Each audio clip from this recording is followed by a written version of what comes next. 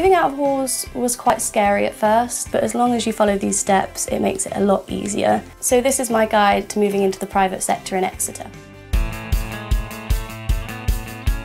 There's a few options when looking where to live.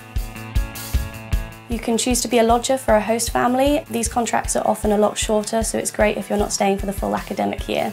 The second option is private halls of residence. These are great if you're struggling to find a house. They're very similar to the sort of accommodation you stay in first year, but they're private. And then the third option is to stay in a shared house or flat. This is what I did and I love it. Being in a shared house means you do get to live with your friends, but then it does mean you're gonna have to work out who you're gonna live with. My group of friends came together quite quickly in first year. We all knew we wanted to live with each other. There was actually two groups of us from different halls and we became friends, we merged. From there we kind of knew that we would be the group that we were going to live together.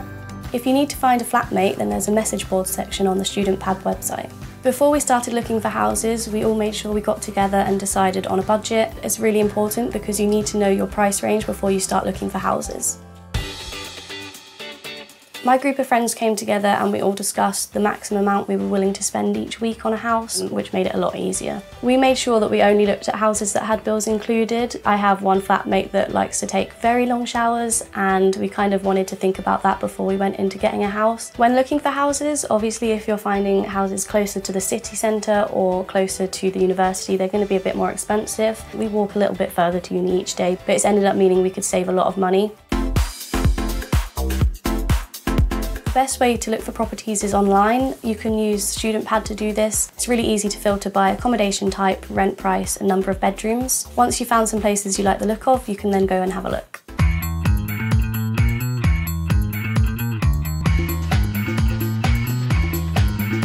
I think it's really important when you go and look at an accommodation that everyone that's going to be living there goes with you.